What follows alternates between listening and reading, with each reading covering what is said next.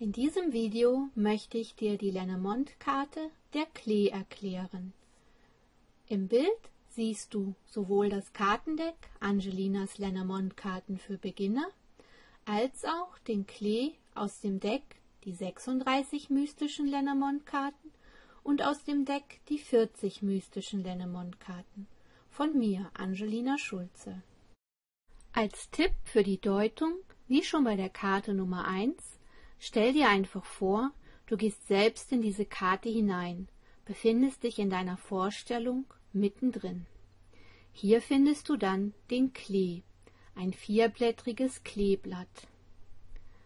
Wie fühlst du dich dort und was kannst du tun oder nicht tun und ist noch jemand anderes dort? Das vierblättrige Kleeblatt bedeutet sowohl damals als auch heute das Glück.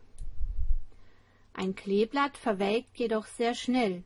Es geht also um das kurzfristige Glück oder auch das kleine Glück, die Freude, all die Dinge, die positiv und schön sind, aber eben kurz bzw. vorübergehend.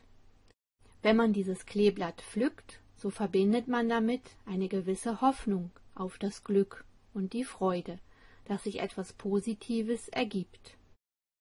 Die vier Blätter deuten auch auf die Anzahl vier hin. Da es aber auch sehr viele dreiblättrige Kleeblätter gibt, die ja vielleicht gleich neben meinem vierblättrigen Kleeblatt auf der Wiese zu finden sind, geht es wohl auch um eine Anzahl drei. Ich leite also daraus die Anzahl eins bis vier ab, für jedes der einzelnen Blätter, das ich erzählen kann. Daraus ergeben sich für mich nun folgende Deutungsmöglichkeiten. Kleeblatt gefunden gleich die günstige Zeit oder positive Phase jetzt nutzen. Freude und Spaß haben, sich einfach freuen. Das kurze oder kleine Glück, die Freude, die schnell da ist, aber auch schnell wieder verwelkt. Als Zeitaussage, es geht schnell oder wenige Tage, beziehungsweise etwas Kurzes oder Vorübergehendes. Neben anderen Zeitaussagen halbiert diese Karte auch die Zeitaussage. Zum Beispiel neben dem Mond, der ja für vier Wochen steht, würde es bedeuten, dass es nur noch zwei Wochen sind.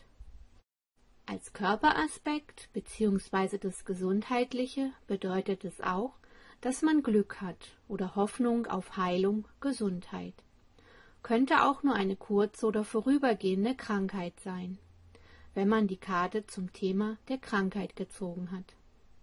Als Eigenschaft ist man ein positiver, optimistischer Mensch oder auch voller Hoffnung. So, ich hoffe, dir hat meine kleine Vorstellung der Karte vom Klee gefallen und du schaust dir jetzt gleich noch das Video von Karte Nummer 3, dem Schiff vor. Viel Spaß dabei. PS, noch der Hinweis, du kannst dir auch jederzeit all die Informationen, die ich dir hier nenne, ausdrucken auf meiner Webseite ist dazu der Text abgebildet und ganz unten am Ende auch der Button, wo du draufklicken kannst für den Artikel zum Ausdrucken.